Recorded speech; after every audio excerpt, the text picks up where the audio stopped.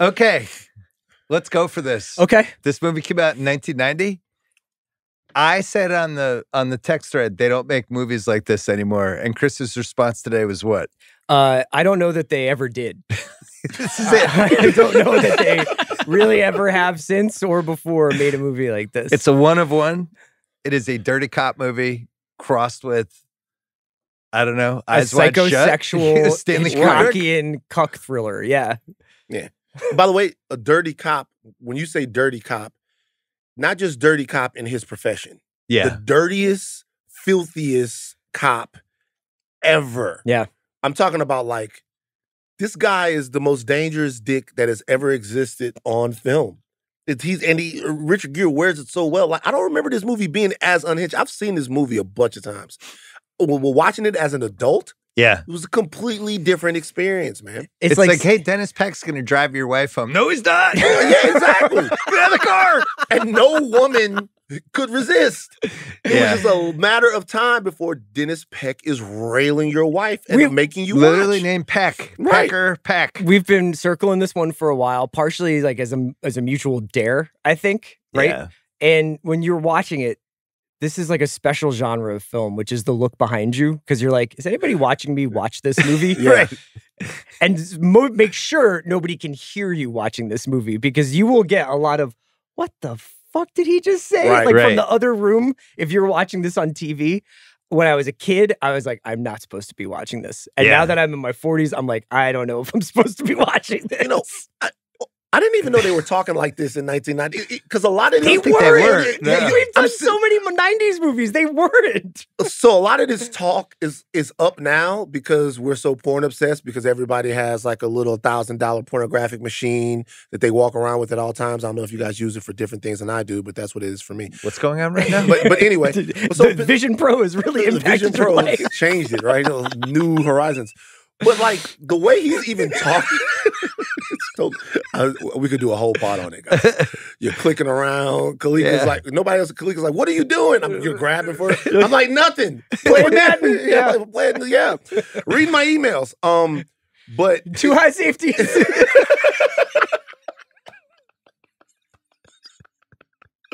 But like this movie, like the way he's talking to him, he's talking to him like the foulest porn, crazy sex freak ever. And I just don't remember that being in a lot of movies in the late 80s, early 90s that I grew up watching, man.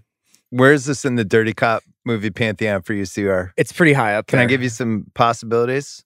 Please. I mean, Departed and Training Day, I think are Oh, in yeah, there. For sure. Like those have to be in there. Those are like the Magic and Bird. I for me, Copland's in there. uh huh. Even though we already did on the rewatchables, I love that movie. I was watching a couple weeks ago. I, am just Liotta in that movie. I just can't get enough of. I mean, you have to go back to some of the 70s classics. well, I was gonna say in this one, Serpico. Serpico, yeah. Connection. Yeah, Connection. What else do you have? I mean, there's so many great, great like like the uh the Seven Ups, the the Roy Scheider movie Oh, that's kind of like French Connection adjacent has always been one of my favorites. Like there was not a clean cop in the 70s. They they made movies about a cop. It was like he was on the take or he was up against a bunch of cops who were. He was doing so many dirty things. Uh Prince of the City is another great dirty cop movie. So yeah, those are those are mine. Can I read you the Wikipedia? Just one sentence Sure. about this movie. This is when they have the where they describe the plot. Meanwhile, Peck not only has a widespread web of corruption based on extortion, favors to cops and criminals alike, And and complicit security. dealings with pimps, he also moonlights as a hitman.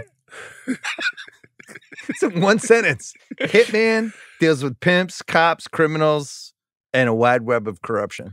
By and the that doesn't even say the whole story. No. deals with pimps, but unclear how. Like I, I thought maybe he was a pimp at some point. He said that the pimp that the girl was his snitch. Unclear his relationship with pimps and how They seem he- to get along really well though. Like he's hanging out at that at food Yeah, stand No, all the he's time. with one of them. Yeah. but like, what's the relationship about? I, Probably information and yeah, you guys get to out for operate freely and as has long as you sex feed me with info. all of the the working girls. Well, he, I mean, he clearly has sex multiple times a day. yeah, He's just a walking Woody. right. Multiple times a day, multiple different people.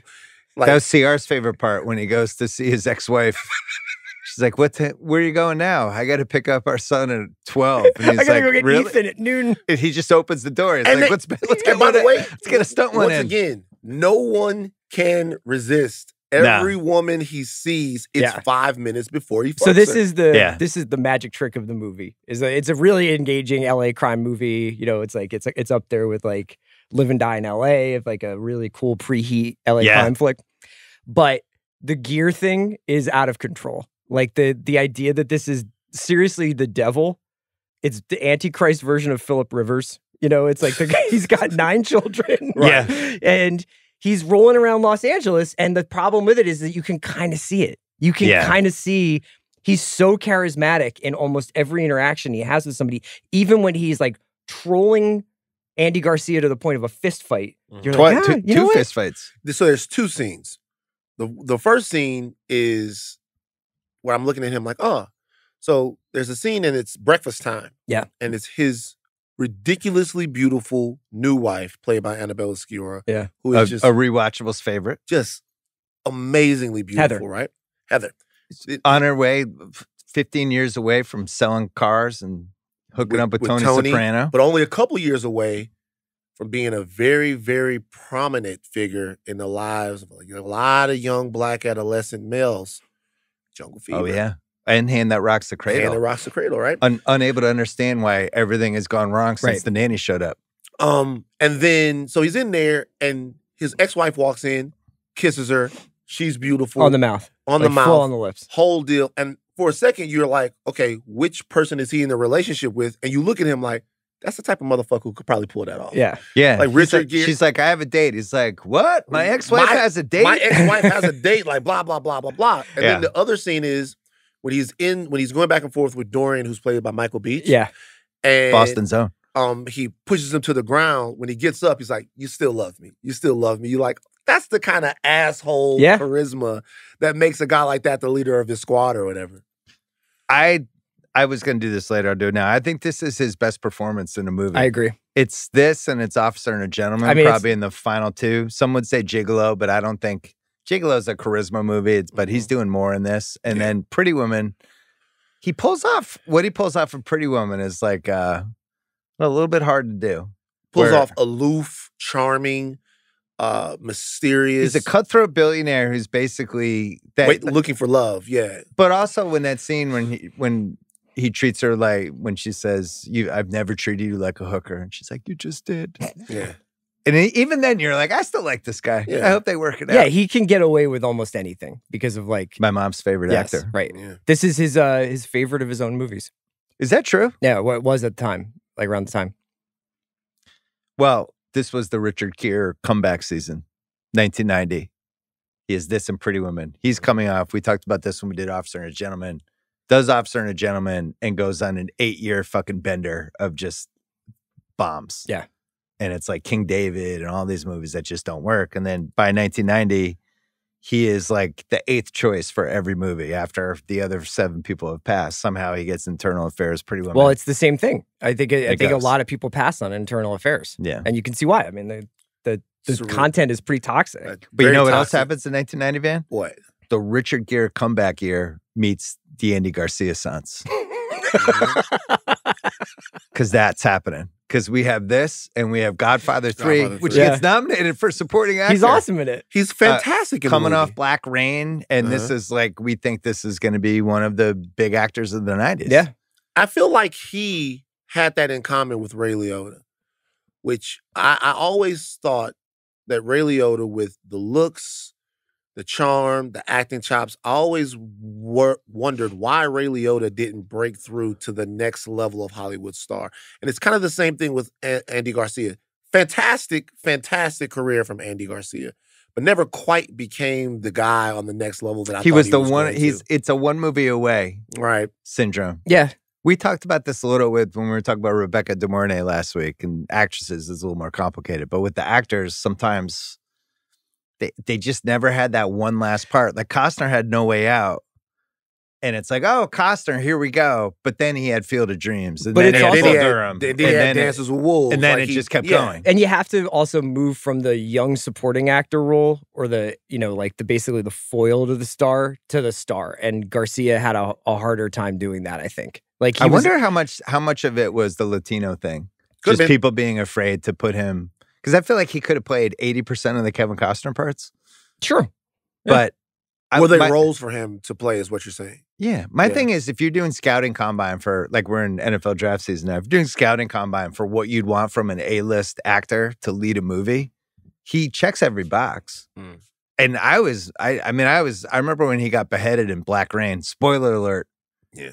But it was like, oh no, He's, he's they in, got him. you can see it in the Untouchables. When he first Yeah. pops up in the Untouchables, you're like, oh my God, this guy's like electric. He's going up against everybody in this movie. He's going up against Connery. He goes toe to toe with him. What's cool about this movie is I feel like him and Gere are at the peak of their powers.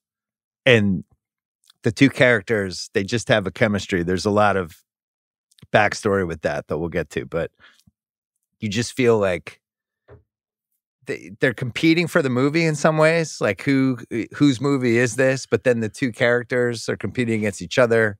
There's the sexual stuff. Why do you think more movies don't do this with male actors where that like I could fuck your wife Well, if I wanted to. the Like that, that- sexual component of movies has been almost completely removed. Omitted. Yeah. I mean, there's debates now about whether or not movies should have love scenes. But I, even Right. beyond that, Yeah. like I don't even really think that there's a lot of like.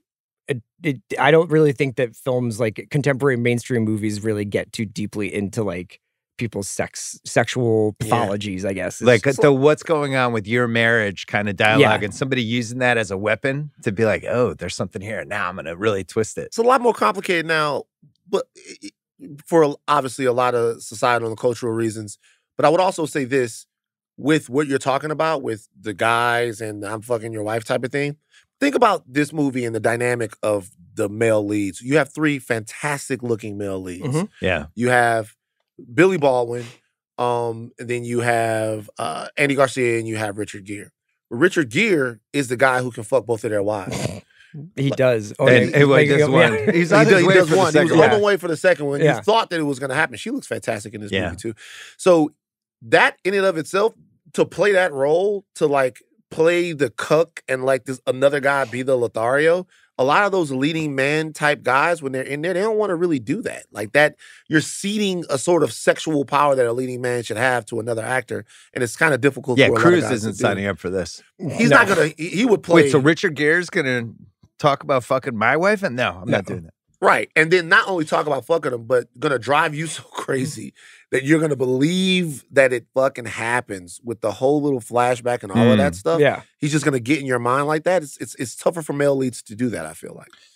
Well, they reportedly did not get along when they were filming this movie, and um, And I was- like that. I feel like you can feel that. In the elevator scene, I think Gere got a couple extras in, and then in the research, eh, not positive it's true, but it seems too weird not to be true. Garcia refused to attend the wrap party. Interesting. oh. I thought you were about to say in the research, it appears to be true that Gere fucked Garcia's girl. I was- really just to get in character, just to get the It's a method actor. Right. Um, also, 1990, Dirty Cops. This is kind of the we're about to hit, especially in LA. We're about to hit of five year stretch there where this becomes the dominant theme, not only in LA, but in the country. Yep. And this movie's early on it, and this is kind of the end of the Dirty Cops as popcorn entertainment era. Yeah. When does it start? Like, I mean, It shi Rodney King shifts it. Yeah, I after mean, it that, changes it's like you right can't, after even that. you colors- can't do it quite this way. even Colors has it like that there is like something redeemable about. You know what I mean? well, Like, they- I mean, they're they're in colors. They're more renegade Yeah. cops than they are dirty cops because they still have some cop type ethos. yes. but post Rodney Colors has not aged well. No, I know. Colors Not will not be on the all, rewatchables. like not Which at is all. really saying something because we're doing internal Yeah, affairs. right. Colors like woo. But like once we really started to interrogate policing in a real way, these movies kind of went. I mean, Training Day is, is the is the, the biggest one since that time. But these movies kind of changed a little Yeah. bit. Training Day is in a completely different prism and it knows it. This movie's kind of like, ah, it's fun to watch Richard Gere be a dirty cop. We should have more dirty cop movies. And then three years later, we're like, eh, I was rooting for him. yeah. I like I- it, it See, when eight, eight kids to pay for. yeah, eight kids. Go get when, yours, Richard. when the shit happens with the van and the guy, I was like, God damn. Not my man Peck. What is Peck gonna do now? like, Right. like what is like what, what who is Peck gonna have to fuck to get out of this Right. situation? He's got to hit up another pimp. He's gonna like have sex with the mayor's wife. Right. His sentence commuted. This movie has lines like, You've had three 181s for excessive forces in the last 10 months. You're wearing a hole in the carpet. Yeah. And it's like, oh man, why can't Billy Baldwin just stop with the excessive force stuff? Mhm. Five years later, that's out the window. But I do really like dirty cop movies. Like, I actually don't feel like we've had enough. Uh. Well, I, I think that Because this is like the last line of defense for us, right? So when they're going sideways, to me, it's just interesting as a viewer. There's so many different ways that could go. Like, has there been a great dirty cop TV show? Well, and we own the city is is pretty great. The Shield? The- the- No, the know? Shield. They're not dirty in the Shield. Once again, Eh, they're pretty yeah, dirty in the yeah, Shield. The, the Shield. Yeah, they're, they're dirty. I guess the Shield's the closest, right? We own the City was only six episodes. Yeah. Uh I mean I think that there's like uh, there's aspects of like the dirty cop thing in a lot of shows, but it just I think TV tends to do more procedurals. yeah. So you tend to do more law and order type of things like rather than like let's do an expose on like I mean The Wire and So that's what I was about to bring up. yeah. So the The Wire, a you wouldn't see the cop. You wouldn't say that the cops are dirty in the Wire, yeah. but they beat the dog shit out of suspects. Yeah. w- At the drop of a hat, right?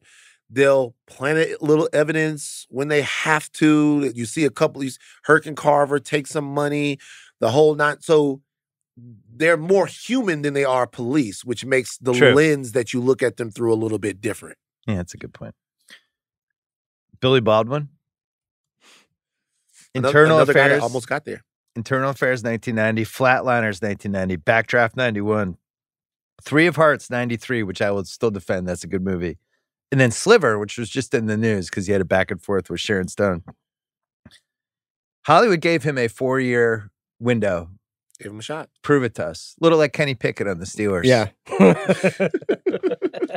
Sorry, Kenny, we gave you two years. We're trading you to the Eagles. yeah. Uh, Billy Baldwin got traded to the Eagles after Sliver was over, and his brother kind of took the spot. I always liked him, but something must have been missing in the Billy Baldwin package. But know- I always thought I liked him during the I- stretch. He might just be too cute.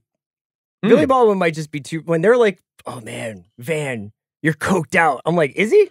He seems like he looks great. Right. He- he- His like- eyes weren't sunken in enough. No, I Mm. mean he just like you can't mess, you can't scuff that diamond up. Right. You know, like back then, like so he does this, but flatliners and backdraft, right? And Yeah. it's pretty much yeah. Then fair game comes around at some point. That's when the wheels come off. and that yeah, because w- she was so hot at that point. yeah, She's like one of the worst actresses that's ever been committed to film. right. But It's tough. but she was so hot at that point. If that movie doesn't get across the finish line, then people aren't interested in, see, in seeing Billy Baldwin uh, in, in any real way for like a blockbuster type of. I do wonder whether or not, just to quickly go back to your dirty cop. Did thing, Alec Baldwin market correct Billy Baldwin? uh, Alec was Alec they were, Baldwin they were doesn't contempt- exist? They were like parallel Yeah, track. Alec- I think Alex before Billy Alec because is Alec is before in Billy. is in Did you like, think ever thought about, man, if Alec Baldwin wasn't here, I would have gotten some great roles? I could sure have been the doctor in Malice. Alec actually has talked about this before. He was like, at one point, Billy was the hot Baldwin brother, and that that's the point that Alex starts. So because you know, I think Malice. When does Malice come out? right around 92, here. 93. Yeah, so- Malice is good. Yeah, Malice is fantastic. Yeah. So like, Alec Baldwin is probably the more serious Baldwin brother, even during that time. But he was going in the a, a, 86, 87 range. It'd be like if we had, uh, I don't know, Daniel Ryan working for us, your older brother. and I had been doing the rewatchables with him because he loved Heat. Yeah. And you're like, man, I loved Heat too. Why did Dan- Daniel Ryan get to do it? That could have been me. Uh, uh, do you think that Bad Lieutenant pretty much ends the Oh, dirty cop good one. movies? Did Bad you like Lieutenant's a Bad great Lieutenant? Well, I think it's the dirtiest cop that's ever lived. I that one went too far for me. I know some people love it, but that's not a rewatchable It's a for fun me. movie. It's not a fun. It's it's not a. It's just so absurd. It tried too hard to be deranged. Like Yeah. there's a line. It that's works. what I love about this movie is deranged, but it doesn't try too hard. Uh written by Henry Bean. Oh, I forgot with uh Billy Baldwin. He plays a guy named Van. Van stretch. Van Stretch. It's another reason why How this, have I never called you Van Stretch? this movie like spoke to me as a kid because I never got to see anybody named Van in the See, movie. because one of my one of my unanswerable questions for this movie was: Is it Van Stretch like Van Lathan, or is it Van Stretch like Keith Van Horn? And they just don't call him by his first name. they call him Van a Uh, couple of times. No, I think his name's Van Okay. I Stretch. I think his name is Van. so how many Stretch. movie vans have there been? Not not very many. Bro. Van Wilder. Van Wilder's one. And they, by the way, all throughout college, they called me Van Wilder. You, you wilder Yeah. than Van Wilder. Oh my God, you wilder. Would you rather be called Van Wilder or Van Stretch? Got to be Van Wilder Okay. because Van Stretch got cooked hard. so there's no like Van Johnson. It That I always can say you have to add like the weird last name too. It's got to be Van Wilder or Van Stretch. Van Stretch. Stretch, like Van Smith, doesn't work. Yeah. This movie was written by Henry Bean and directed by Mike Figgis. Yeah. Who went on through Leaving Las, Leaving Las Vegas, Vegas. and pretty strange last 20 years for Mike. Yeah. Uh, a kind Might have of. gone against Scientology a little, and uh, Right. some, some things happened. So uh Figgis is kind of an interesting I'll do the fantasy thing where it's like I'll I'll just say like he's like an interesting Hollywood director who was very like provocative within the system so would do these genre movies but then really push push the boundaries of like what he could get away with within those movies there's not a lot of guys like him like maybe Neil Jordan or somebody like that but a very very used a lot of different techniques like filmmaking wise and then also obviously was very interested in sexual psychology stuff This movie is very well done for 1990. I mean, it's Sure. 34 years old, but it's very, uh, it feels somewhat modern. Yeah, I really, think. honestly, the only stuff that's like dated is the shootout. Well, and this and the phones. Yeah, and the phones. Cord cord phones are very prominent in this movie. Well, they also they have the they also have the the fucking classic antenna cordless phone. Oh, Oh, yeah. yeah, That's like the, the. Gordon Gekko phone. The- yeah, the classic. He, if you watch this movie and you put it next to uh Leaving Las Vegas, you could tell that they have the same DNA. Mhm. Desperate sex, desperate, almost violent. Remember the one part of Leaving Las Vegas where she's walking on broken glass? Yeah. You- you- like the whole nine. Like you, you could tell he's They're got a- both set in a place that's supposed to be full of promise, but is in fact in full fact, of like full of sin and. desperation yeah. and all of that. Should we do Leaving Las Vegas for Rock Bottom Month? That's the Leaving amount Las of money- Vegas, Hey, yo, Monster Ball. the amount of months you have on the Hey, stove right Monsters now. Ball. Yeah. find, find me a movie that's more rock bottom. Like leaving Las Vegas might be the number Requiem one. for a Dream. That's pretty rock bottom. But isn't there some redemption in that? No. And Requiem Craig, for a who's Dream. the sponsor for Rock Bottom Month? probably not. Probably not people lining up. Boeing. Athletic Greens. Jesus Christ, Craig! Oh my god! it's rock bottom month. Buy the dip. Yeah. That's a good one. That's great. Great stuff, Craig. Uh-huh. Uh, Fifty million dollar budget for this movie made forty seven point seven million. It did well. I saw it in the theater. and then was a cable somehow a cable mainstay. It's on all. It was the one time. of the worst edited for TNT movies Yeah. possible because Mhm. Dennis Peck is just absolutely But they would di- keep diluted Dennis Peck. the black and white fever dream footage in there. yeah, And I was always like, like, did I miss a scene that this is flashing back to? You don't Mm. understand. I, did- I was that was confused me when I was a kid. So Ebert, I couldn't find a review, but I did find his at the movies with Siskel. Oh, good. and they both loved it. And Ebert said it's really a movie about personalities. It's not just a cop movie that plugs in the usual elements from other cop movies. This is a good movie. Gere is brilliant. It's So I'm barely gonna say a either cop three or three and a half stars for for Raj. Down, didn't mean to step on you, Bill. It's barely a cop movie. It's- really yeah. is. It- it's, It's, hard to even mm. explain what law enforcement is at stake. It's like Yeah. IAD is investigating this guy, and then when when Van gets murdered, they think they have the witness who was the second guy at the shooting. And like that's essentially the the cop part of the, sh- the movie. This movie could have been like. Remember how in Ghost, uh, what's his name's character? What's the guy that was fucking Kerry Washington on Scandal? Oh, Tony Glo- Tony Tony Goldwyn. Goldwyn. Like, okay. Uh, by the way, I didn't mean that literally, although there is there is talk. But it, but but um, I, I, I, have gone to some parties. right. Um, so remember how in Ghost he was the dirty banker that Yeah. was funneling money for the drug dealer, whatever. Yeah. This would be the same movie with those two guys, with in a completely different. The cop element of this is not as necessary as you would think, because it's a movie about power, Yeah. manipulation, about like you know usury and all of that stuff. The the police stuff is just how these guys meet. It's a great turn because it starts out being literally about internal affairs department of the police department, and like you get introduced, and Laurie Metcalf walks them through all the exposition of like we're ID and we do this, and this is the this is what we have to look out for, and this is what Yeah. people are going to think of you, and you're like, okay, it's going to be a cop movie, and then the internal affairs actually turns out being like the inner workings of people's marriages and sex lives. this was a, an era of movie because we always talk about the From Hell. I guess you could say this is Cop from Hell, but not really. Yeah. But there's like because also Bad Influence with Rob Lowe and James Spader comes out this year. That movie's kind of unhinged too, Uh-huh. where he's just like decided to try to ruin his life. But this 89 to 91 stretch, even a lot of weird movies. even through like single white female. Like Yeah, it that's keeps going another into one. like 92 where you're like, what the fuck? This is really dark. you know? Yeah. And it was like the sex, there wasn't necessarily a sex scene, but there was weird sex stuff. Mhm. Like Single White Female has that scene when she, the Bridget Fonda, hears the noises and she opens the door and thinks she's with with a guy, and the girl rolls over and she was by herself, and she's like, I am "Ah, so glad that this came up. thank you." I figured it might be in your wheelhouse. I'll tell you, I love single white female. okay, you're on the list when Yeah. we do Single White Female. Love single white female. Court and I were just arguing with about this. Oscar winner. Oscar, Oscar Court winner was that an Oscar winner name drop? No. Uh it it it it is single white female, just real quick detour. Is that an erotic thriller? Yes. In a way, yeah. Yeah. See, I don't think so. Because as in an erotic thriller, doesn't sex have to be a, a real integral part of the I think that or the obsession borders on sexual. Yeah. interesting. Okay. when we do single white female, I get to do my impression of the guy from Wings getting a blowjob and realizing it's It's- not Bridget That is Fonda. not his girl. My Peter God. Weber? Want me to break it out now? Yeah. Yeah, I'll do it. I'll do it when we do it. He said, "I'll- yeah, I'm gonna tell her myself. It's one of my best 90s impersonations. Mhm. Um, that movie is absolutely insane. Do any of your 90s impersonations not involve an orgasm? or Quint getting eaten by a shark. Most rewatchable scenes. So here's what's interesting. I don't have a rewatchable scene for this movie until the 26 minute mark.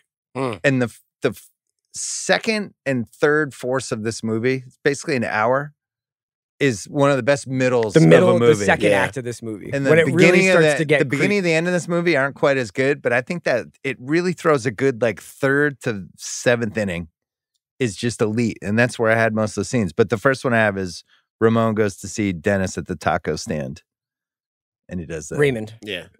I I call him Ramon Okay. too. Is he? He's Ramon Raymond. Okay. I mean, he did both. I mean, I mean, maybe because I don't know. He's introduced both ways. I know because I think there's, you know, with his homies and his family, he's he's the the, the I was trying to show Ramon some respect. Okay, no, he's sorry, also it's- Raymond. Ramon Raymond. Okay. I'll do Raymond from now on because he is called Raymond Moore. Um, but that's when Peck does the your wife fuck around. Yeah. It's like what? So there well, first of all, I want to ask a couple of things about this scene. If somebody says to you, "Your wife fuck," does your wife fuck around? What's the proper response? No, I wasn't going to ask that, but that's I guess a great prompt. I just don't know what the an- what answer is the right answer for that. I just blind. you would just rage. walk you would just walk in the opposite direction. Yeah, just Right, blind just rage. walking away, right? Because the, the question itself is it's just like a conversation Well, to ender. be fair, R- Raymond starts it. Like Raymond's kind of like, let's talk about. Oh, Van's you wife. fucking yeah. Raymond has suspicions. Ah, it's actually above. He's Yeah, like, board. hey man, point. as friends, let's talk about our friend in common. I think Penny might be sleeping around, and that's driving him to cocaine and insanity. But Raymond in that scene, I think, is insinuating that. Dennis oh, he's definitely fucking, with him. Yeah, And then he's like, "You're gonna fuck with me. Watch, let let's fuck around." yeah, right. And he's like, "This is what happens." And then I would like to introduce a new award to the rewatchables. Oh, wow. oh wow! Which is the Once Upon a Time in Hollywood Rick Dalton Award for the best acting I've ever seen in my life. And it's Richard Gere in this scene.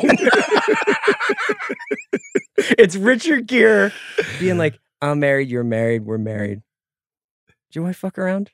Doesn't feel good, does it? Right. It's fucking incredible. He is out of his mind in this scene. little things with the hand. Oh, he's got Yeah. his. He's he's drinking the the two the, prostitutes co- behind the him, co- co- behind perfectly him. framed. He's he he's looks drinking away. a small coffee. Yeah. He drink he drinks the small coffee. He's doing this, and he's and he's like it's intimate the way he's fucking with him As a friend. as a friend. As a friend. as a friend, he like he's drawing him in. You know how like in Training Day, like when Alonzo asked, what's Ethan Haw- Ethan Hawke's character? Jake. Jake. When Al- when Alonzo asked Jake, he's like, "You and your white eye, like I bet you, I bet you still fucking face to face." It's so obvious that he is like pulling pulling a power move on Yes. him. Yeah. In this move, in this in this scene, you're thinking, I know he's fucking with him, but is he also trying to give him good advice And get him laid. and get him and get him laid and, and give him? a- It's the manipulation is so top tier that it's, it's fantastic. Gere does this move and he does it in other movies where he gets super close to who he's talking to, male or female, and he keeps the eye contact all the time. Yes. He's like very intense. He's always good for like the two shot, but he does it in this movie. And Garcia, he was doing the look oh, away. Oh, he and can't comes handle it. He's so like, uncomfortable. It's Yeah. so great. He's It's just good. like this guy is like shorting out my frequencies here. Like I can't handle like the eye contact. And you know what? That's probably because he actually really doesn't like him. I know. I know. They're all looking for strange, just like you and me. I don't care if it's your wife, my wife, his wife. They're all looking for strange. Crazy. I want it on a t-shirt. It kind of makes you go, wait, are they all looking But for it's also like he sets Are all up them? the reality of this movie, which is that every single person is looking to fuck around professionally or sexually behind each other's backs. Yeah. So you, you can't trust anybody and whatever they're doing. And the Law reason of why that, the re- the law of Peck, it's the law of Peck. The reason why that might be the first rewatchable scene is because up until that point, they do a good job of making you a little unsure. It just seems like a typical police movie where it's like, oh, dirty Yeah, stuff's happening. There's going to be a the band of LA cops them. that are a little dirty, And and, then they're going to take it them down. flips. Yeah. But Dennis Peck also, up to that point, has like looked out for people. You see the way he operates. yeah. Yeah. Like when he gets the guy, when he He comes over to Vanny and he like breaks up the fight with him. and breaks his up wife. the fight with him, and then hey, I'm gonna make sure that you that this guy works for you, and send you to the Raider game with your kid. You're like, this guy's kind of the father figure to the whole thing. Like, what's his real deal? Second scene. I mean, the movie's cooking now. Dennis goes to have a drink with the Arrocas. Jesus Christ, bro, this scene is so fucking nuts, dog. Immediately puts his hand on Tova Arrocas's thigh. and she's like, she's electrocharged like she hasn't been in her whole life. And this guy put her hand John on like, Capellos is perfectly cast. The Yeah. fact that he can't get the waiter is amazing. Where he's like, Mhm. "Oh, one second, I'll just uh go get you a drink." He's like, um, "We've made contact." Right. like making jokes, and he's got his hand he's up his wife's sweaty skirt. and weird. Uh, I want you to kill my mother and father.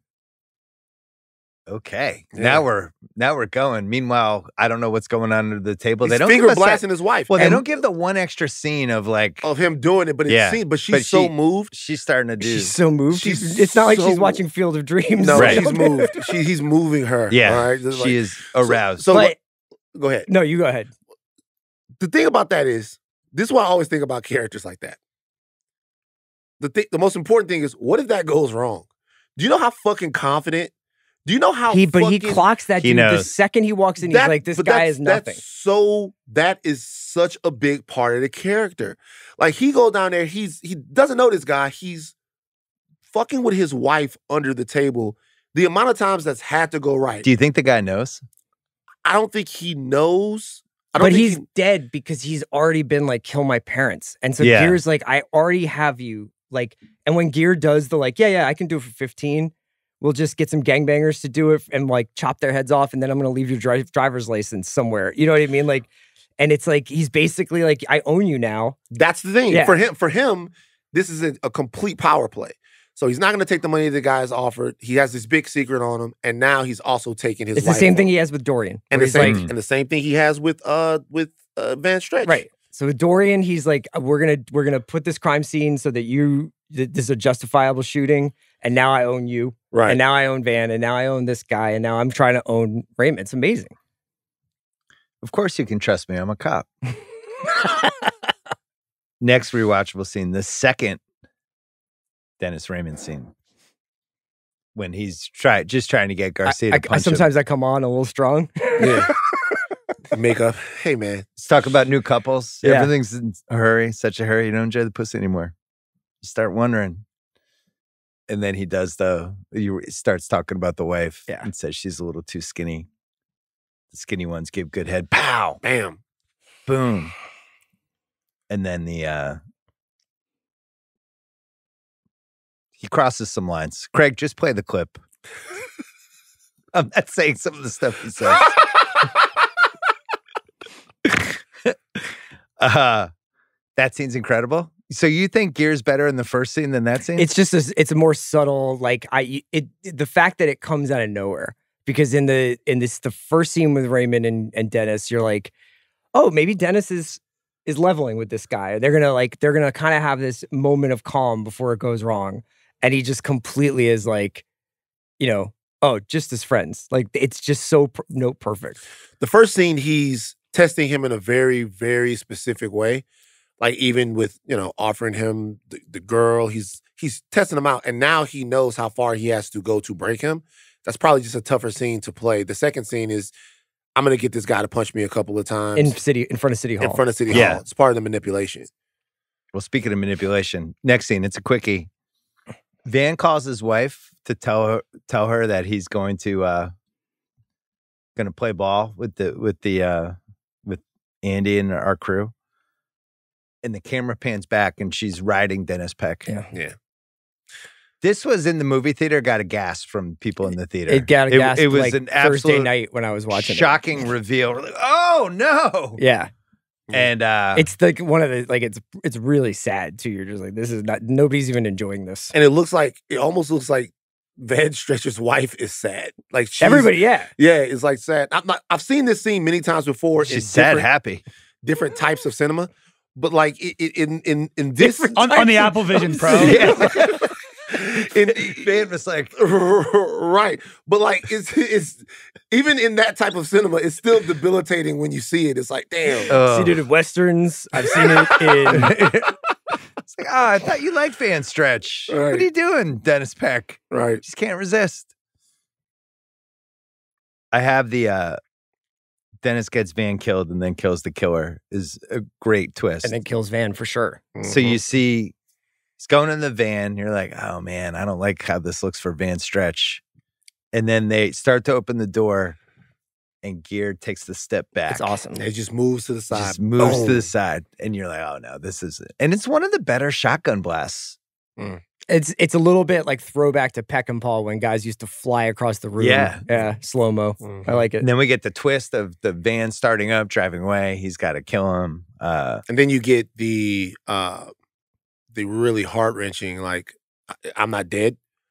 Yeah, and uh, I got to get back home to my kid, and to my- Yeah. and he just fucking because the first thing you see from Van Stretch is him being like an abusive prick piece of shit, but by the time this movie ends him, he is a completely, completely vulnerable and character that you empathize with. You know, it's a really good scene. It's a good action scene. There's another action scene scene with the uh, the big shootout with the other van shooter. That just keeps going and going. There's a Yeah. chase. That's solid. And then, uh, man, the jealousy scene. Peck having lunch with with our, our and that's when this sort of turns into the rear window a little bit, right? Like or or vertigo or something where it's like this guy has now become completely consumed by jealousy and and his like sexual inadequacy rather than the case. So we, this is all tied together. The lunch scene where he's on the street freaking out. Mm-hmm. can't can't figure out where his wife is the rest of the day. Goes into the office, comes down, elevator opens, and Peck headbutts him, and really says some inappropriate things that I'm also not going to say in the pod. Yeah, so I Craig's gonna have to play. So hoping that Craig's gonna have give to play this too. I, I have it in my notes as Bill to give a dramatic reading of what he tells Drove him. her crazy. Drove her no, Craig's crazy. gonna He's Craig's gonna he's play gonna do it as Tony Romo in a little bit.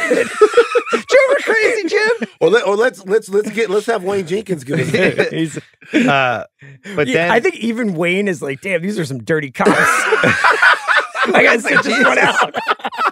God damn. then he gives him at the end after he says a lot of uh, inappropriate things and punches him and headbutts him. You know what they say about Latin fighters, Raymond? You know what they say? Too fucking macho. Yeah. That's right. Too fucking macho. They don't backpedal when they have to. So they're used up young. And throws his wife's panties at her. Mhm. Dennis Peck was going for it. Nuts. And then the wife is so uh flustered later. She's like, You came into the thing and cursed me out and, and beat me up and threw a pair of my panties at me. And I'm like, yo, man, you haven't seen what this motherfucker been going Right, through. I know. I know. He's had a really bad Peck- Wednesday. Dennis Peck's really got in his head. like you don't know what's been happening to him, man. What uh What do you have for most rewatchable, Chris? I have I have when they first meet outside of the burger joint, and and he's like, "You you're married, I'm married, we're all married." Like that that mesmerizing scene. You know, I have the elevator fight just because it's almost like a horror movie scene. Yeah, you're you like, is he gonna kill him? Yeah, he's Yeah. gonna yeah, is this guy gonna die right here? Yeah. I like like 'cause it. Peck has been like taking punches a lot and being Yeah. like, "Oh yeah, right, I can't fight," and you're like, "Oh, this guy kicks ass." He is dangerous. Yeah. Yeah. I have that whole stretch, the jealousy scene all the way through the elevator fight. I have. What's age the best? Just as a movie device only, dirty cops planting evidence is always great. yeah. Yeah. Just as a gimmick, where it's like, oh, is are you gonna put the knife in And his these are the these are the last of the great old good old days where there was no CCTV cameras, no iPhones. Yeah, and Guys it could could be a just be like, "Yeah, let's just get this switchblade in the guy's hand." yeah, you know, like throw this. Now you'd at least be looking around and seeing are there cameras? yeah. You remember we uh, we left out a dirty cop movie. I guess it's a dirty cop movie. LA Confidential. Is that like a yeah, think- yeah. that counts. Yeah. Yeah. So like even in LA Confidential, when uh, Uh, Russell Crowe just walks in and executes that guy, it's not funny. I'm just like it's not fun. I know it's not funny, but it is. It is. I forgot about that it, scene. it is kind of funny. Yeah. He just walks in and just fucking kills the guy, right. and then just it automatically puts the gun in his hand for the, the whole deal. and they're like, Yeah. "You're promoted." And yeah, like, You're right. and they give him the whole thing. So it's kind of the same way at the beginning of this movie, and that kind of is something that you see over and over again. I like the the when a movie does this, Boston's own Michael Beach, when he says uh when he gets him promoted to homicide, Mhm. and then Andy Garcia is trying to pump him for info, and he's like, "That's just what he would do. You're just like Dennis, man." Yeah, I like the movies where the good guy goes to the dark is side. becoming the bad guy. yeah, yeah, yeah. always works. Yeah. Absolutely. What do you got for what's age the best? Um, I feel like most contemporary menswear is basically what these dudes wear off duty. Oh, You know, Mm. uh, the- Okay. the, Richard Gere polo tucked into the collar, uh, p- tucked in the collar popped. Flipped up. good pair of sunglasses. Um, and I just the double, the double uh award of like when directors do their own music. So Mike Figgis was like, "I got this," Mm. dun, dun, like jumps in, and then Mike Figgis is the dude Nancy Travis is having dinner with in the Oh restaurant wow! When missed that. Garcia Oh, I missed out. that too. So I was just like, this is just a great like Figgis is like making sure he gets his shots up. That's great. I didn't know that's what Yeah. he looked like. Do you know what I have with Age of the Best? Yeah. L.A. as a cop movie background. Oh my god, just driving around. Also, no, like it just seems like much less traffic because I was doing some mapping for this movie, Mhm. and I was like, man, these guys are getting from Long Beach to Granada Hills. Like, Fucking, they went from they were. I know exactly where they were, and then they end up on Sherman Way. I'm like, that took a while, like, Right. To, to to get to where. but they I were. guess they are doing the night shift, so maybe traffic wasn't as maybe bad. So, traffic wasn't. as I bad. had a similar thing. I thought they made LA feel like Miami in this movie. Mhm. It's it's very happy. The sun's out. It's very diverse and vibrant. You're wearing a and it- blue sweater. It's Yeah, like, yeah, you know, it's yeah. 64. You feel like you're almost you know? like in South Beach. I had the uh, Garcia and Gere haircuts, which are very early '90s. Get Garcia, especially. It's almost like the flat top. yeah, Uh, Brandon Walsh eventually would take it to another yeah, level yeah, on yeah, yeah. 90210. And Yeah. then Gere, I, li- I just like how his hair looks in this movie. Like it just it looks styled. It it ties in with the fact that he's this good looking guy who he looks like fuck the cop who wife. can fuck. Yeah. like it's a cop haircut, but a cop who can fuck.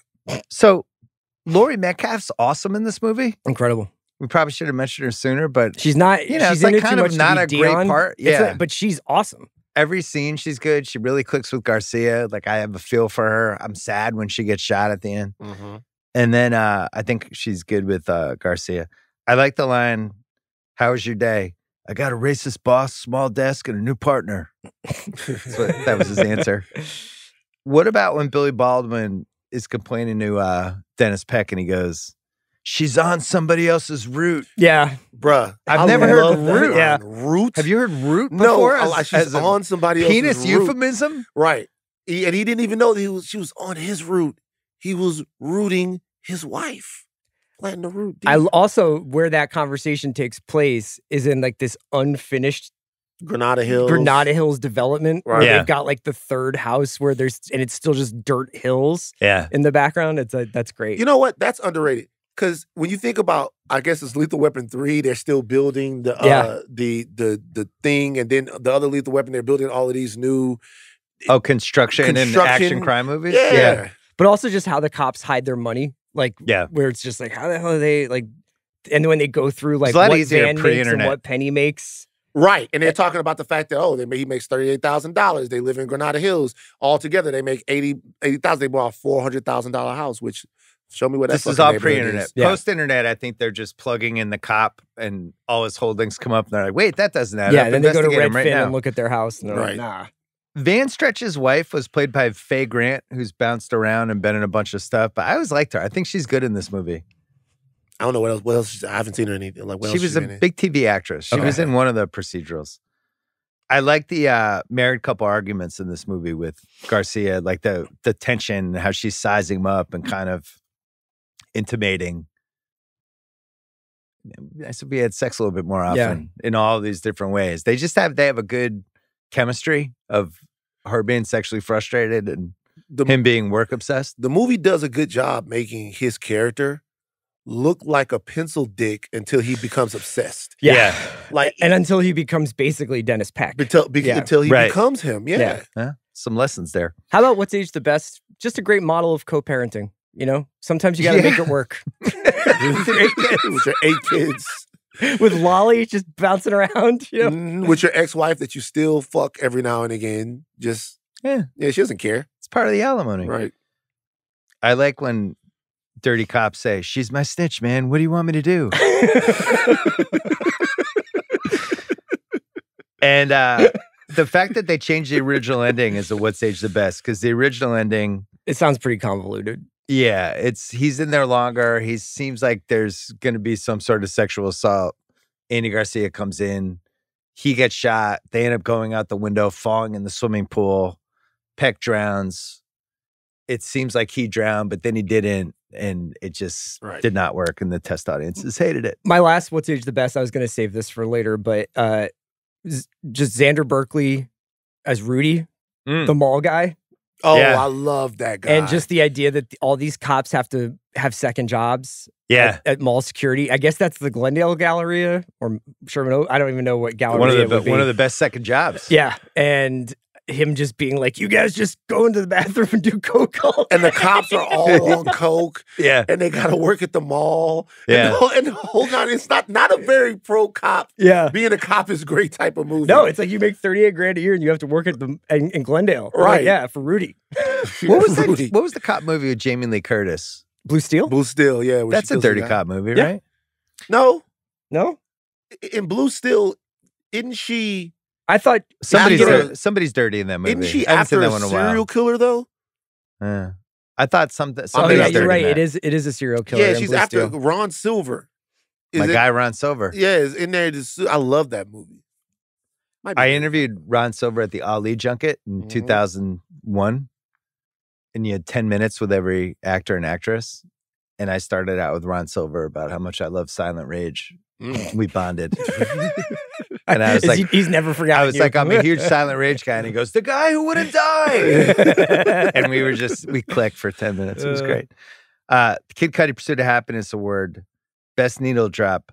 Whatever music is going on with with drunk, angry Andy Garcia when he's kind of zoning in and Oh, out. when he's and they're drinking the- playing like, the Cuervo. yeah. Yeah. yeah, yeah, I like that whole. I had the Did you have music that better? drops when uh, the pimp watches Dorian arrest his girl. Yeah, yeah, yeah, and it's like this Jimmy Jam and Terry Right. Lewis song comes on. It's like dun, dun, dun, dun. And then it goes back to the pimp, and he's got like the bald head with Yeah. the futuristic Mm. glasses. Yeah.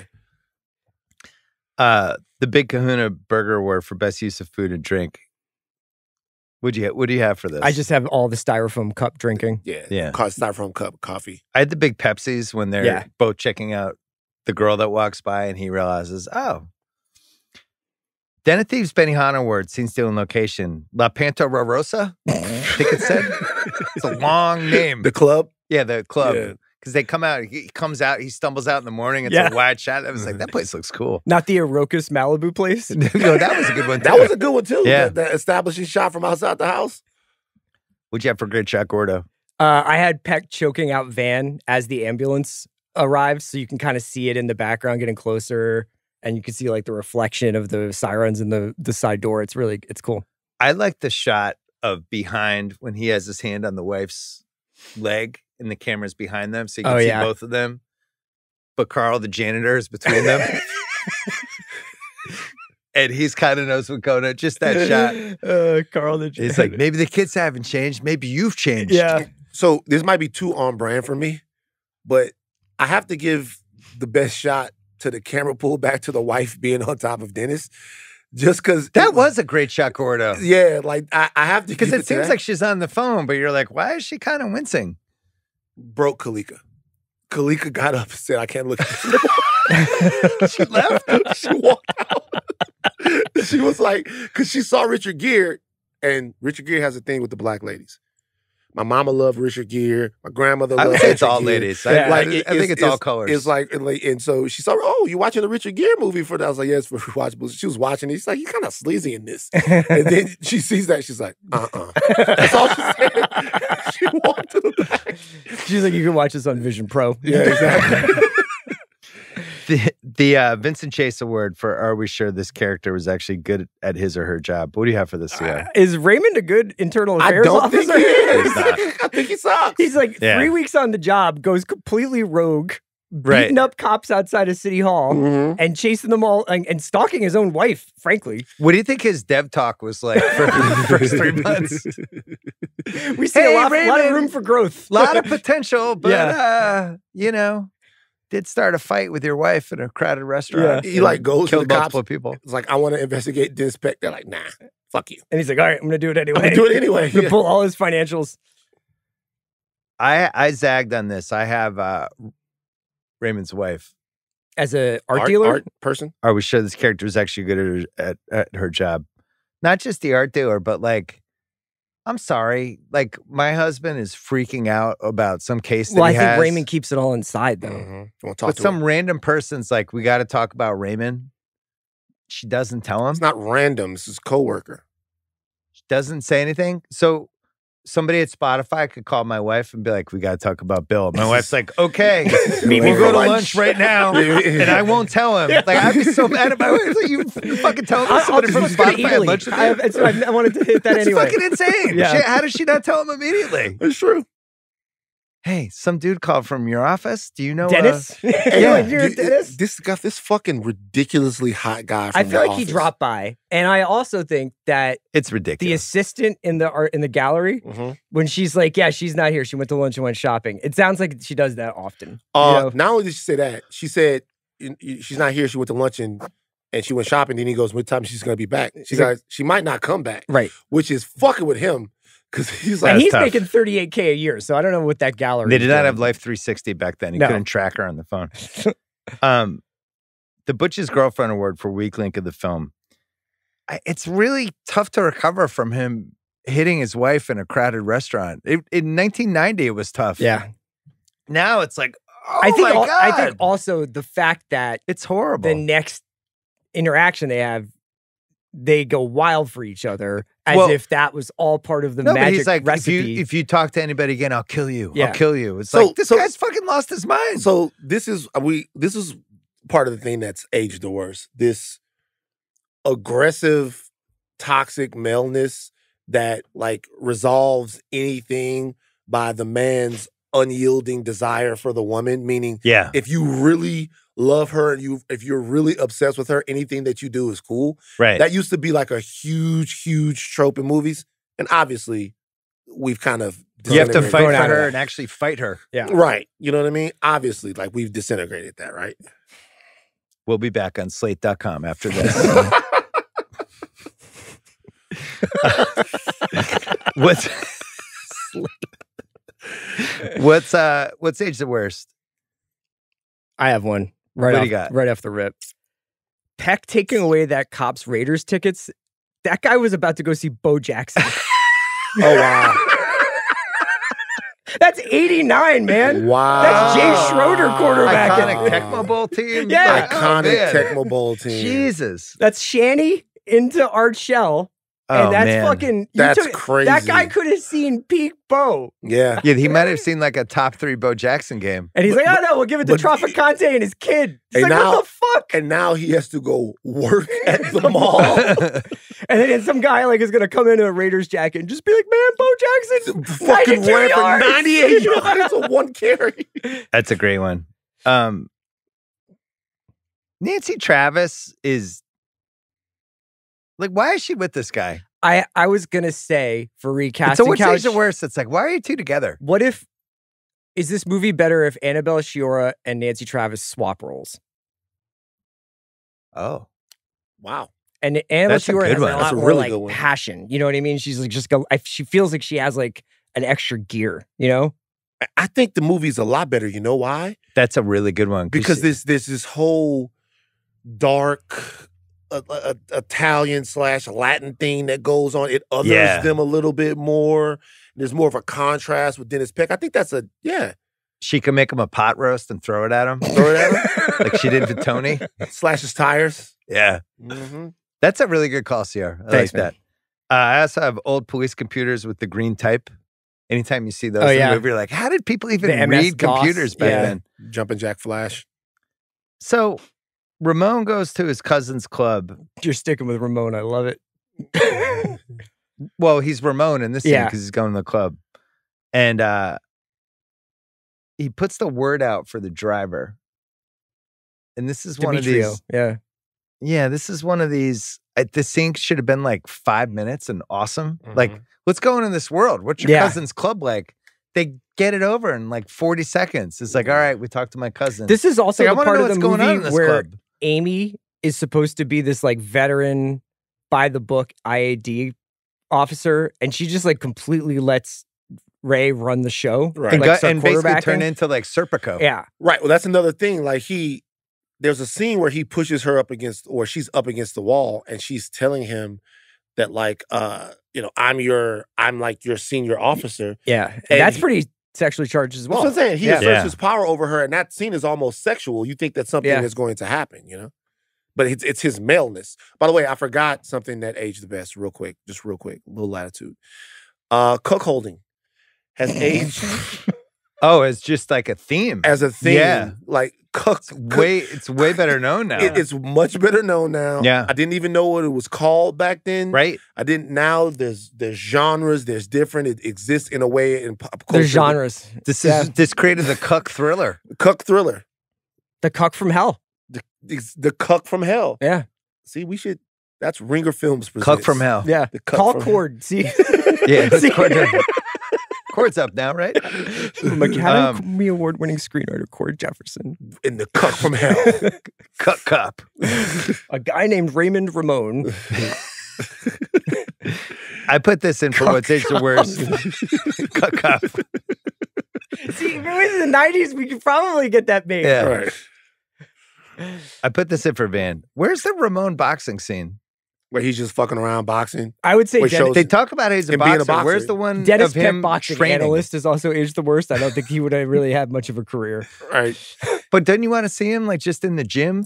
It would have been. somebody saying like, "Man, you could have been Gold Gloves." Yeah. it would have been a good scene because it would have given him a, it would have given him a little bit more. Oh, like this guy's kind of a badass as well. You know what I mean? We needed it. Last one is just this movie's attitude toward domestic violence It's- is, that's is the number one. reprehensible.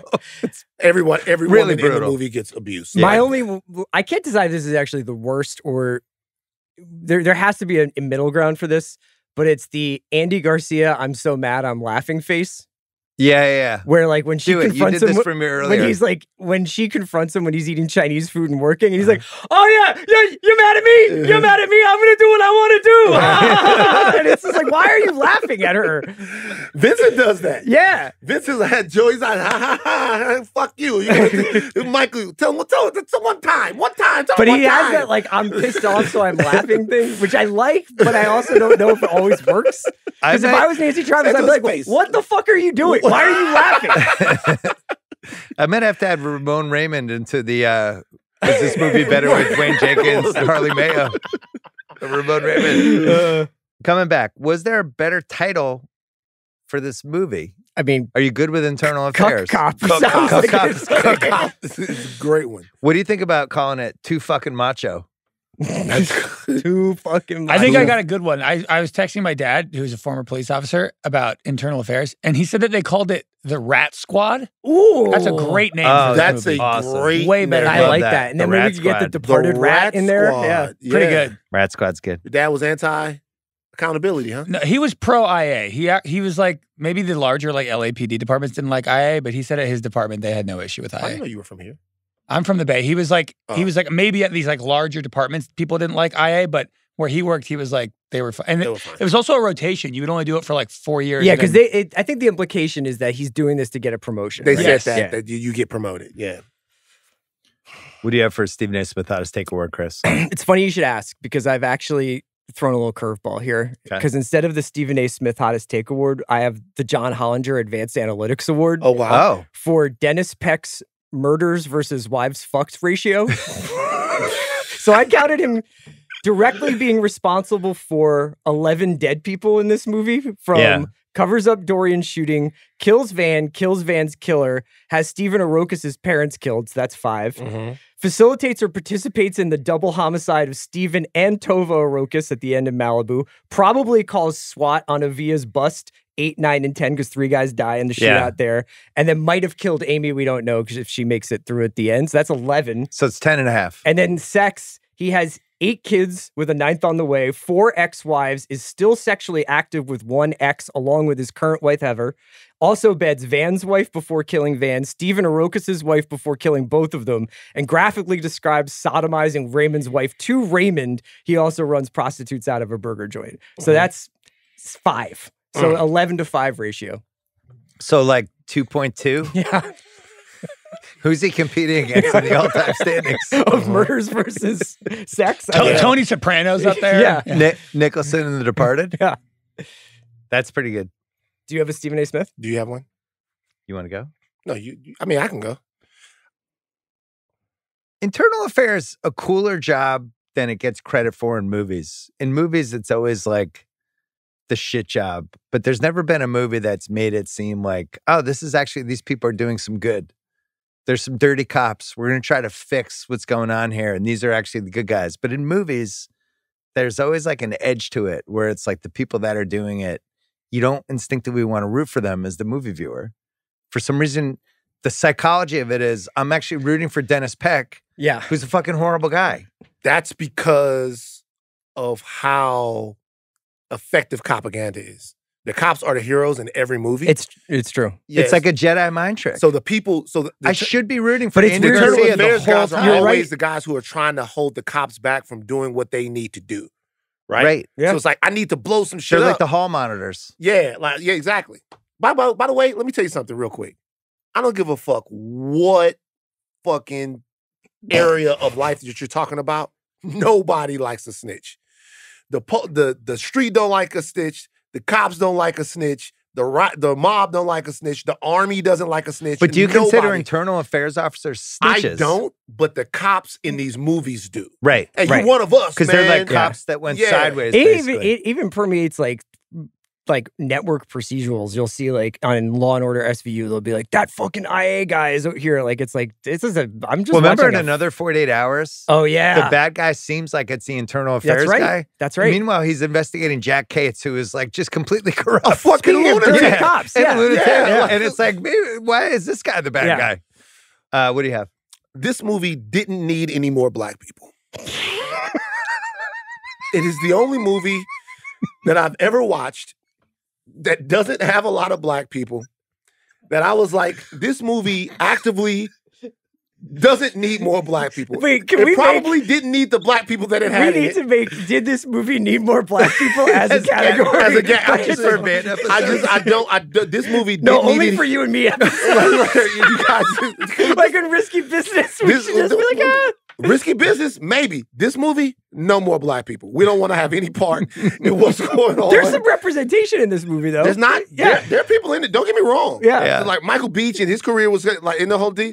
I felt so bad for him. Yeah. he had to deal with all of this crazy shit from these white people going on in this movie. I felt like he was. That this movie didn't need any more. It was perfect amount. That's an automatic category for every rewatchables you do going Did this forward. movie need any more? Black? I'm with it. I can't wait for the Star Wars episode. I can't wait till you do Braveheart.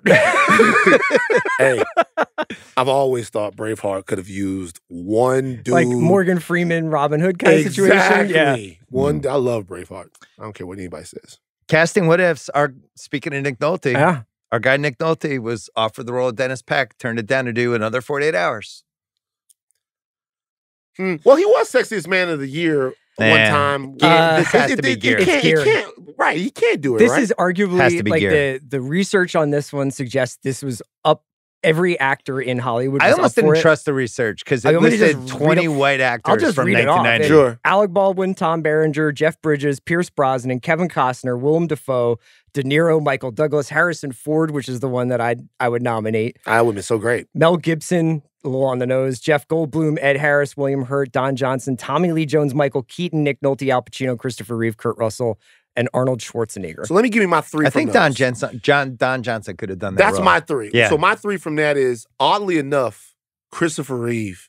Hmm.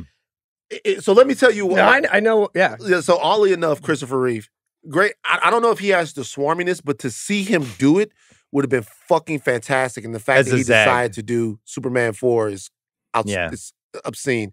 Don Johnson is almost as good of a He's kind of job. played this guy. Him Yeah. and Gere were in the same kind of corner for a while there. Yeah, Don Johnson. Was, I- I don't know if he has quite the chops, but he, The hot spot. yeah, like he, but but he'd have been right there. He'd have been right there.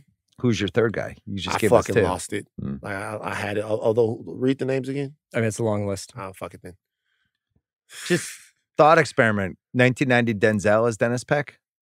That's a totally different movie. It's a it's it, It, be, it, it's, a called quite different- Training Day. Yeah. What It it really well, no, but I, like, bruh, think about the articles yeah. that come out. The movie looks so different. Yeah. See, that's the movie that should be made now. The Honestly, movie should be made now. I think Denzel like could have played that part though. He definitely could have. Yeah. I like when Denzel got a little dirty Denzel. Yeah. Uh, Ruffalo Hannah Rubenek Partridge overacting award. Raymond and Kathleen's fight, like the day after They're the just slap. screaming at each other. Yeah. Yeah. Best that guy award. So Harrison many. Ford was the other one. By the Okay, way. Harrison Ford. Yeah, Harrison Ford. Because he never played a role like that. This movie has so many that guys and that girls, including Carl the janitor. Mm-hmm. John Kapelos, yeah. Is he John Kapelos or is he Carl the janitor? I think most people would recognize him as as Carl the janitor, but like he's been in so much stuff. Same with Breakfast Club, a movie with no black people. No black people. Didn't need any. Zero. is Michael Beach that guy?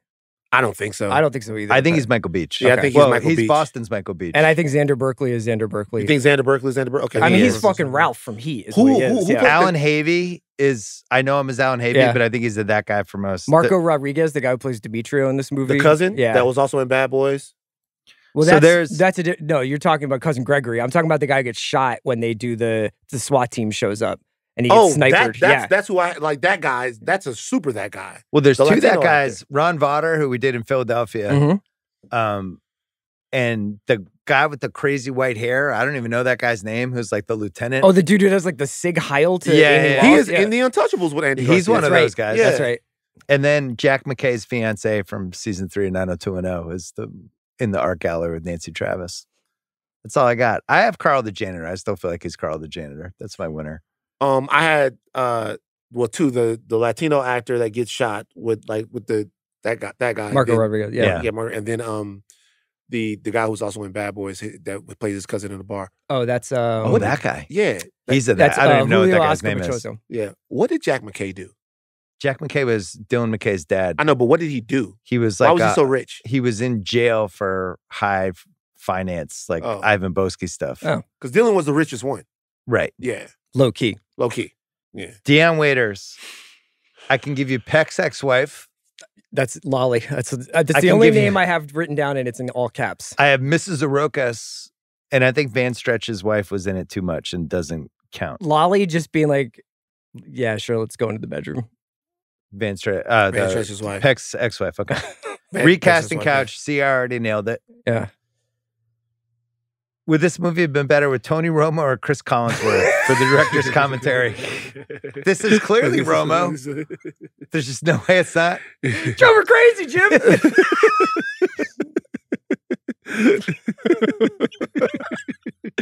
I'm not even gonna do it. He's trying to cuck him, Jim. He's turned him into a cuck. Or when the Garcia when he loses it. What was the name of that place he went to? oh, Pantala Rosa or whatever. La Pantalosa? Yeah. Yeah, La Pantalosa, Jim. Half-assed internet research. So there's a deleted scene, which none of the deleted scenes are on the uh, YouTubes. but there's a conversation. There's another Raymond and Peck scene. They're in a bar drinking and talking about how people want to be bad, and cops want to be bad worst of all. And the and the snitch is strip teasing. Oh, And they cut it. Yeah. It's the. I think they thought they were good on the Peck Raymond scenes. I'm not sure they were. I think I would have taken I would have that liked scene. a little bit. Yeah. more, Right, it depends with on where in the movie that. So that goes in between. Probably between one and three. Is that after he's beating him up outside of I City think it's Hall, though? before he beats him up. you. It would have to be before. Yeah. Yeah. The car that Dennis drives in the film, a ni- uh, 1963 Great Chevrolet cars. Yeah. Stingray The Volkswagen convertible. that Amy has. Yeah. LAPD chief at the time, Daryl Gates, condemned this movie. Yeah, it's the least of his worries. This motherfucker. Wasn't a fan. what, he he didn't like it. Didn't like The it. worst police chief man. I put that on the poster. Yeah. Said in his biography, not a fan of Yeah. internal affairs. This is weird. This is a little bit of a downer, but uh, Faye Grant was married to Stephen Collins, the actor. Oh god. and then he was the one that there was a whole thing where it turned out he was accused of sexual abuse Mhm. of children and she got caught up in that whole thing and they got divorced and he never acted again weird that's my last half-assed internet research we're going to apex mountain richard gere It is. It it's is, right? 1990. There's some It pretty is. women There's not even. This is a conversation. Well, I mean, Pretty Woman is Richard Gere's Apex. but it's the same year. same year He did Internal Affairs and Pretty Woman in So you're saying this his this 1990 moment is his his a- apex. yeah, he's yeah. a- It's the hottest it's ever been. garcia this and godfather godfather 3s is a this same year though yeah, let's What, do what, it. what are what are the just real quick? What are the signature Andy Garcia roles? To me, it's Untouchables, Untouchables, Godfather, Godfather 3, 3, this, black rain this Ocean's 11. Black Rain. Ocean's when a man loves a woman Oh, yeah. When a man loves a woman is a good movie. Your drinking is tearing us apart.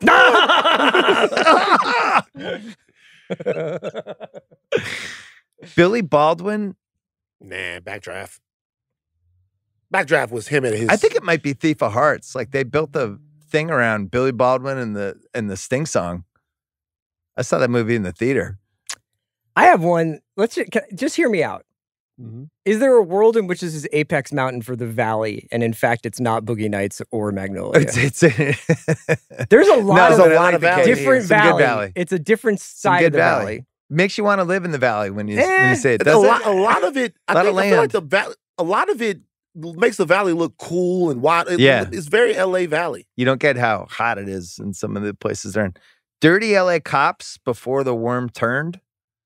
Uh, It's somewhere between here and colors. And then all of a sudden, yeah. I mean, Onion Field, right? Isn't that L.A.? Uh, Yeah. like just Joseph Wambaugh books and stuff like that. that's a good one. James Ellroy books. Like, but I like to say L.A. Confidential. I know Yeah. that that's you know. Internal Affairs is it actually? The, is there a better IAD movie? There's, a, there's not another parted. movie where Eternal Affairs is this prominent in the Yeah. you know How about moonlighting as a hitman? cop. Also, What do you do Hitman for your cop. day job? I'm a cop. How about do you mess around? Anything else? Yeah, I'd kill people's parents Was once in what, a while. what- kill people's parents? Was Alonzo and his squad were they hitmen? No, not really. Uh, they would rip off drug dealers. Rip off. Yeah, they were uh, rippers. Yeah. Nancy Travis? No. So I Axe married murderer? an axe murder. Yeah. I was thinking we could have done Nancy Travis month. Yeah. Could have done this, Vanishing Axe Murder. We've done three Nancy what are, Travis so what movies. are the current the current on the on the drawing board months we have? Sex work month, Oh, I love sex. work. prison month, dirty cop month, These are for the people listening. These are actual months we've talked about. Nancy Travis month. Nancy What, Travis. what month. goes in sex work month? Is this movie canceled month? Yeah, Is this movie canceled canceled month. month? that is the best month. That, That's the best prison month we had. Yeah. Yeah, Is this tho- movie tho- those are on the board. month? We're doing a month in April. We Okay. haven't decided. Right. Is this movie canceled month? It'd be great. Okay, I, I didn't realize you might want to do one or two. Oh yeah. We should have saved internal affairs for is this movie canceled month. Uh, more Apex Mountain. Laurie Metcalf, no, because that would be Roseanne. Roseanne. Annabella Sciorra, no. Faye Grant, probably. Um, racehorse or fantasy team name? Van Stretch as a racehorse is a cool racehorse. It's name. pretty cool. Yeah, Van Stretch. But it's it is a mouthful to be like, and down the stretch, Stretch they come. Van it's Stretch. Van, Van Stretch. and the- like I think but the, there's a little double entendre. the. PA there. announcer might get a little tripped up there. All right, picking nits. I have four, but what do you have?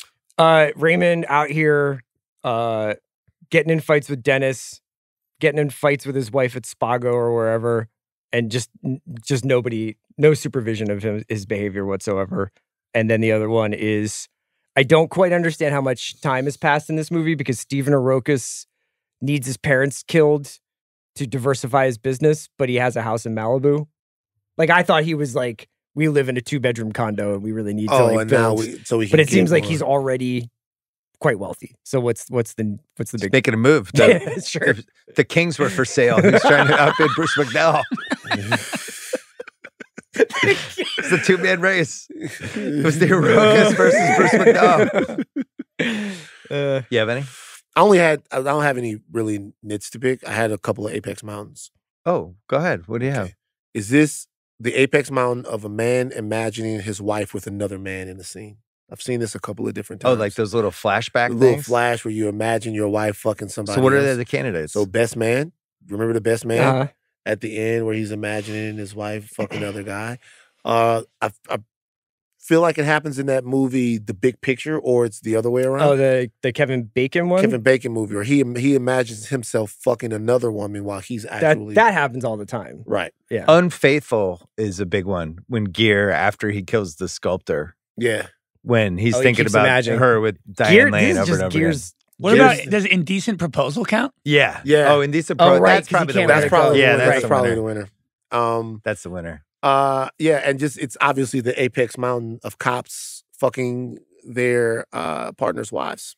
I Hmm. can't think. of I have an one. apex mountain. Yeah. Slapping in movies. Oh yeah, because he slaps Hard the shit He slaps Van. Billy Baldwin like 10 times. Yeah. Richard but, Gere you to know, start if the you watch as he's doing that, you can see Billy Baldwin already has a big red mark on his neck. They did it a it must bunch have of been like the fifth and then take. Nancy Travis slaps the shit out of Andy Garcia. Yeah. like, and it, that's real. Yeah. Now they would CGI him. Mhm. I have four nitpicks, and I'm proud of all of them. Go for it. Who answers the fucking phone as you're riding a dirty cop? Let it fucking go to answer machine. Well, to you're having fair, sex. She's not like this is It's a like, dirty cop. She's like this on is one Dennis. second. Yeah. That is I don't Eh, think anyone in that scene is enjoying themselves very much. That's Ah, let let the phone ring. yeah. But don't you have to if the phone if you let the phone ring? All right, I You're wanna- worried. I You get were just gonna come trouble. home, the If- husband. If you let the phone ring, don't you risk him wondering why you didn't pick the phone up? Pick it up in a couple minutes. Although maybe Dennis Peck, maybe he Dennis lasted Peck like is- forty. Maybe it's like I'm Dennis is a forty-five Yeah. minute man. He's Sting. Yeah.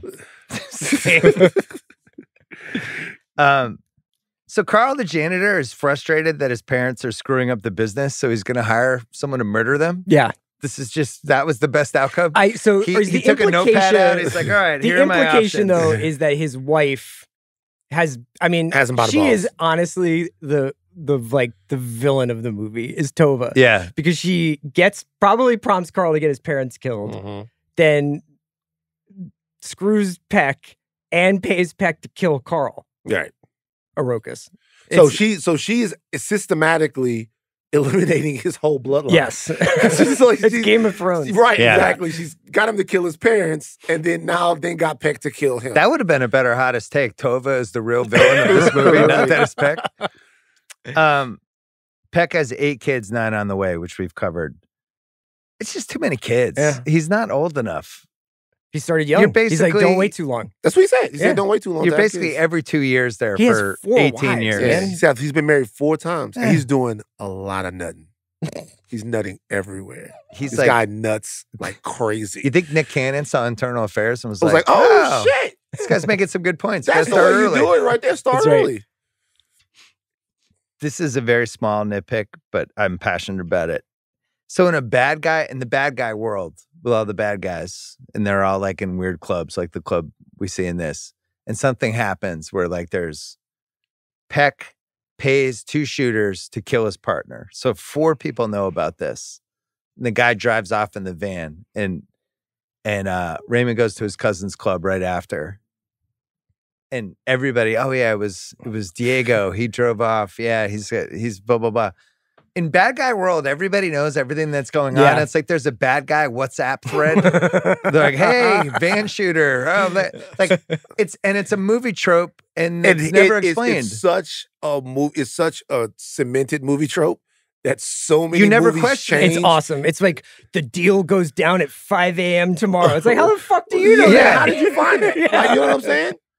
Peck hires the two people. That's it. Those are the only three people that should know about it. And one's dead. Peck's not saying anything. So the other guy's like, oh man. Let me call up Had a cousin hit Gregory. of Yeah. two Am I tripping or does that happen in Heat as well? Oh yeah. yeah. It Yeah. happens in all these It movies. Oh yeah, it happens. So in- it's like it's going down nine o'clock at the diner. the streets talk. The streets Bill. talk in a way that I don't think is realistic in actual movies. Sequel, prequel, prestige TV, all black cast, or untouchable. I have an idea for this. You have one? I have one as well. You, I, I would like to just keep the addition onto this category, which is or Apple TV's The Dynasty Patriots docu series that takes a radical new look at what we thought we knew, and that would be Dennis Peck, loving father, trying to repopulate Los Angeles. there it is. And Dennis is just like, look, I was just trying to keep people together, you know? Family is the most important thing. Bill Belichick is somehow to blame for Yeah. Van Stretch's death. Exactly. You could recut this movie where Dennis Peck is actually the hero because, like, look, he was right. He wasn't fucking his wife. The wife says they're not fucking enough. Dennis Peck is actually trying to get these two crazy kids back together. Dennis Peck, the man. Well, and then you had the footage of Andy Garcia as a bad guy. Yeah. So you could, you know, that Shining, where they have that Shining trailer where it's like a family comedy. Yes. Uh-huh. It's like Jack But Torrance. Dennis Peck just tries to go shake his hand. He flips out. My idea for a sequel is happening probably in the late 2000s. Peck's eight grown up kids now terrorizing LA. They're like a gang. The Peck, All of them the have gone wrong. the Peck Pecks- Squad. the Peck click. The Peck- Peck Click, they're just terrorizing all the rich neighborhoods in LA, doing home invasions, Yeah. just killing Right. people. And then there's a monologue. My fucking dad, man. Yeah, He's he did this to asshole. us. Do you think they have like a, a TikTok house cop. together and they're all like doing Content house. stunts and stuff? They're like, Yeah. no, nobody's going to do shit. The Peck's the Peck Eight. Yeah. The Peck sect. Yeah. Is this movie better with Wayne Jenkins, Danny Trejo, Kathryn Hahn, Steve Buscemi, Sam Jackson, Michael K. Williams, Raymond Ramon? Is it Ramon Raymond or Raymond Ramon? JT Walsh, Byron Mayo, Harley Mays, or Philip Baker Hall? I think because it's about dirty cops, it can't be Wayne Jenkins. I think he's almost scandalized. But so I do think Byron would get pretty into this whole situation. Just like Dennis, Raymond, Kathleen, Penny, Heather, Lolly, Key, Tova, Amy. Why don't we get some oysters from Wolfgang Puck and see what happens? It's a natural aphrodisiac. I have an unfinished house in Granada Hills. Just one big waterbed. Why don't we get some oysters killed me? Uh, Put some Worcestershire sauce on that. Oh man.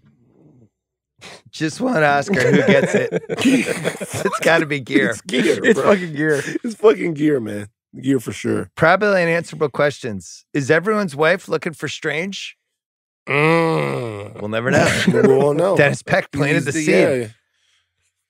I'm really proud of this one. What's a fair price for shooting someone's rich parents in 1990? Well, we don't know what he actually got paid. Yeah. So what? What was the price? What's the price range back then? It's I- 15 fif- grand for both parents. No, that's what he wanted. That was he's- but- seventy five hundred. And he's subcontracting it. Yeah. No, but Peck. So that means he's not because he's not taking home. No, five, it's at least like 50k, right? you Maybe got to get 75. forty. You got to get forty or fifty thousand Yeah. dollars. I was thinking 75. Nine. Guy, did you see the guy's house? He's like a seventy five thousand. giant compound. But I can't Malibu. tell because like that house has all the covers on the furniture and it seems unlived in. So I couldn't tell like did he buy that house After, after he his parents up. have been killed? Was that Neil McCauley's house? It looks kind of like it. Mhm. Oh, we did the other one I had. Do you have any unanswerables? Uh, I just wanted to know where the the burger prostitute place was. Because you want to go there? I'm just curious. like, is it downtown? You thought? I think it was downtown. Okay, Oh, I would have. I would have said. because they serve pizza and pina coladas, so it's like a, I would have said that Beverly Boulevard part right before Tommy's? it hits the 101. Oh, I know. when what there's you're like that about. giant intersection and Oh, all these yeah. Alvarados hitting all these. Yeah. We should make a fictional LA hotspot Crime map? like Mhm. BJ's on Alvarado from Heat, the Burger Hut from Internal Affairs. that Tommy's right over there where you said, but um also like th- like a fucking little Tokyo area down there. Yeah. a lot you see that place a, a lot of different shit. Chinatown.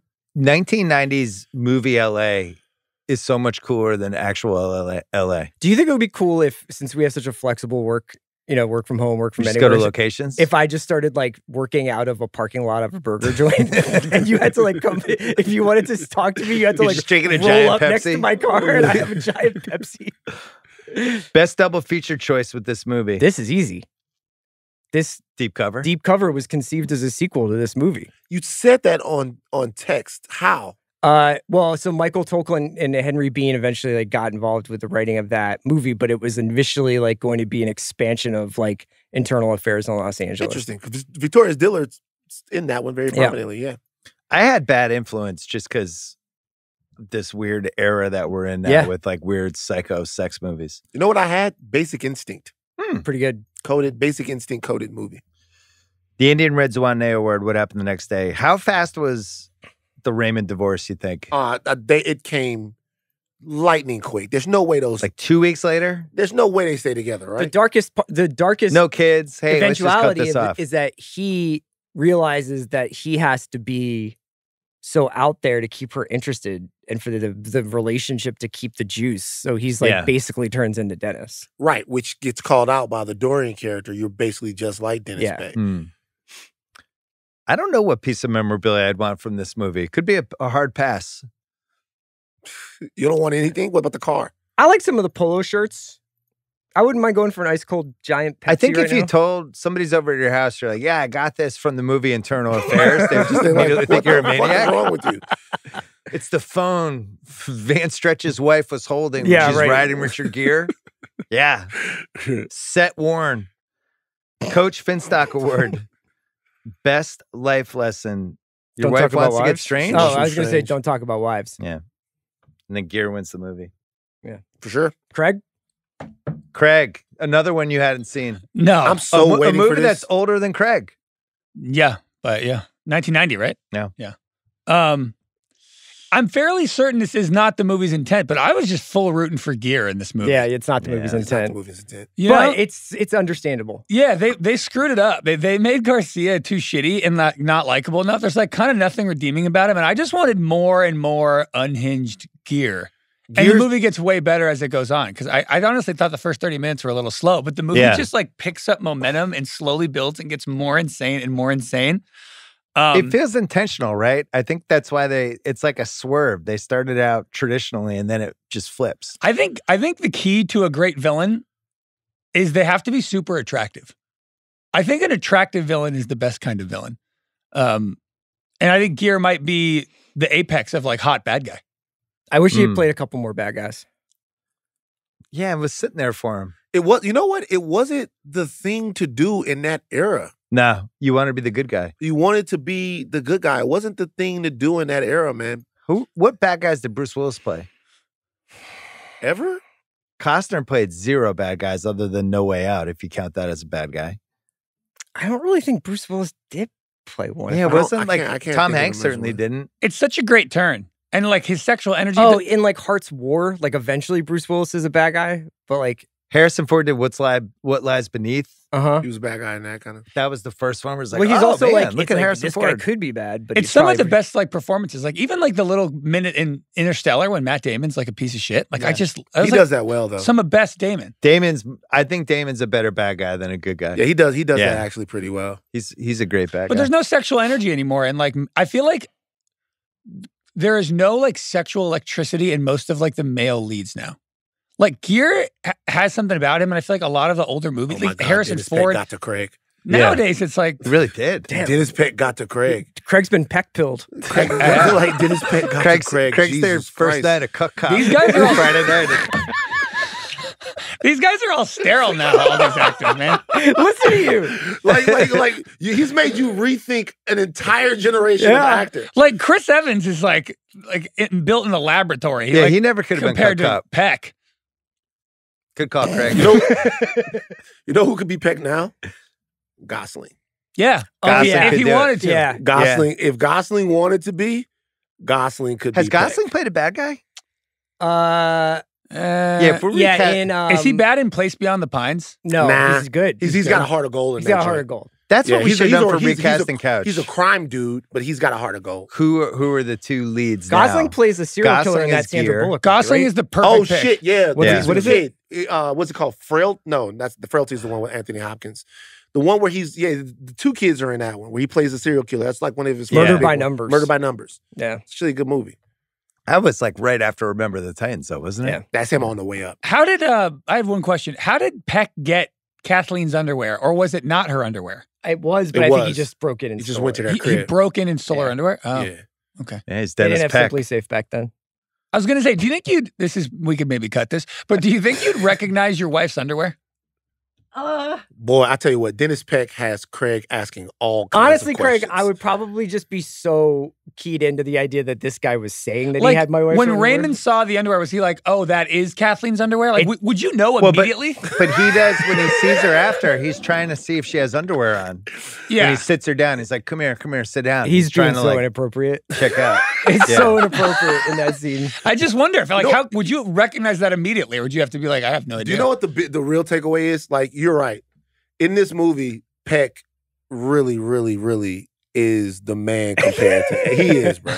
It is, bro. It's kind of like a whole like Black Panther Killmonger thing, Yeah. where you leave. And you know what? Honestly, he talks shit to the very end. It's Right? so That's good. the best thing. Is it's like it's like even it would be like a UNLV team that was losing by 20 and it's just like, hey, fuck you, just so you know, we only we still got you. Right? Yeah. And one of the best, like, I love the trope of like the bad guy who's just flexes his muscles and he's like, I'm just going to terrorize Raymond for like 30 minutes of this movie. Yeah. And, and I'm going to use everything I have in my wheelhouse to ruin your life. And it The, was the- great. the guy walks in on Peck fucking his wife and looks at him like, like no, he doesn't even.